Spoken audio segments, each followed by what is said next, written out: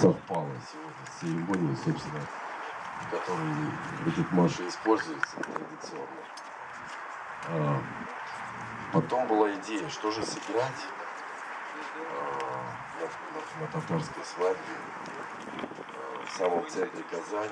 И, конечно, мы с Леонидом Григорьевичем подумали, что было бы странно не сыграть Янулина, свадебный танец из балета «Шевале», и он прозвучал, и, и просто вот практически секунда в, сек- в секунду вся эта церемония э, так очень красиво легла под эту изумительную музыку.